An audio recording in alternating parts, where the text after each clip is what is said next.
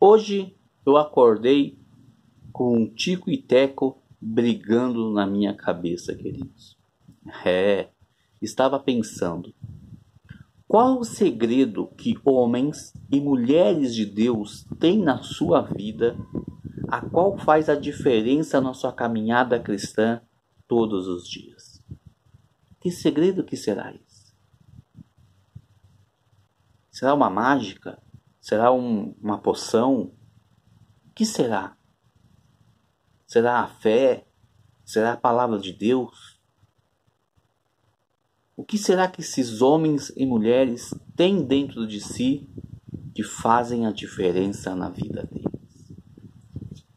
Pois bem, depois de ficar brigando com o Tico e Teco e orando, buscando em Deus o Espírito Santo, ele me mostrou na sua palavra.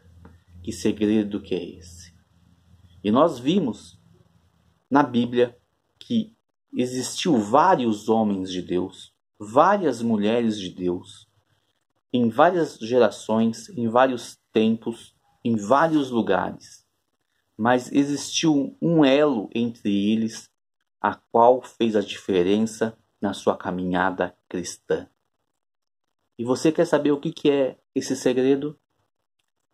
Esse segredo se chama submissão. Ser submisso a Deus. Ser submisso à voz de Deus. E nós vimos isso lá no livro de Hebreus, a qual relata os heróis da fé. Sim, heróis da fé, como Moisés, como Abraão, Abraão, queridos, que ouviu a voz de Deus, não se questionou, mas ele foi rumo a um lugar a qual Deus tinha prometido, sem conhecer o lugar. Abraão, ele sacrificou o seu filho da promessa, a qual Deus tinha prometido.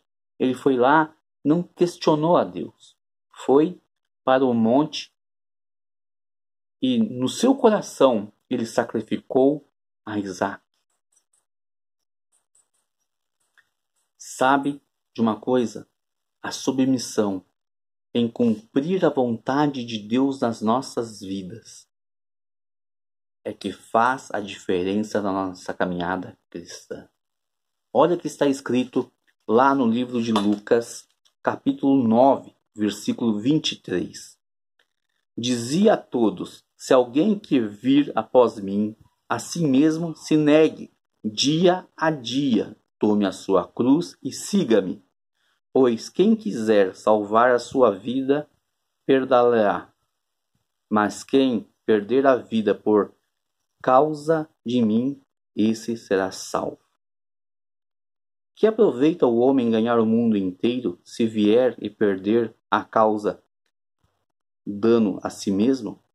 Porque qualquer que de mim e das minhas palavras se envergonhar, dele será envergonhado o Filho do Homem, quando vier na sua glória e na do Pai, dos santos anjos. Verdadeiramente vos digo, alguns há de que aqui se encontram, que de maneira nenhuma passarão pela morte até que vejam o reino de Deus. Querido, Jesus está falando aqui para os discípulos: você quer me seguir? Você quer realizar a minha vontade, a vontade do Pai? Então siga-me, pegue a sua cruz, renuncie às suas vontades, deixe as suas vontades de lado e faça a vontade de Deus. Mas qual será a vontade de Deus na minha vida?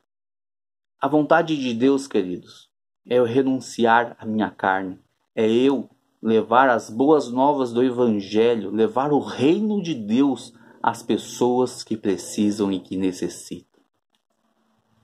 Quantas pessoas precisam ouvir a voz de Deus? Quantas pessoas necessitam receber a transformação do Evangelho? Não um evangelho superficial a qual muitos pregam, mas um evangelho a qual se manifesta o poder e a glória de Deus. Quantas pessoas precisam ouvir? precisam sentir a Deus. É chegado o momento, queridos, que a volta de Jesus está próxima. E que nós, porque eu me incluo, o que nós temos feito para renunciar às nossas vontades e fazer a vontade daquele que nos chamou. De que forma que nós temos carregado a nossa cruz? Para carregar a, a cruz de Cristo, nós temos que renunciar à nossa vontade, ser submisso. Ser submisso à vontade de Deus. Você até pode se questionar, mas malaguês é difícil. Pode até ser difícil, mas Deus te deu força, te deu capacidade, te deu inteligência para você carregar a sua cruz. Queridos, porque nós somos ovelha e nós temos que confiar no nosso pastor. Nós temos que ouvir a voz do nosso pastor.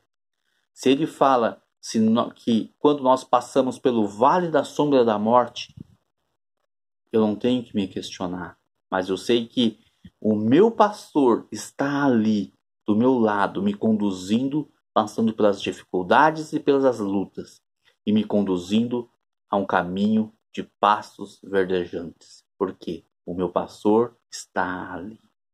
É essa mensagem que eu tenho para você hoje. Compartilhe com seus amados. Que Deus te abençoe. Um abraço do Miro Malaguês.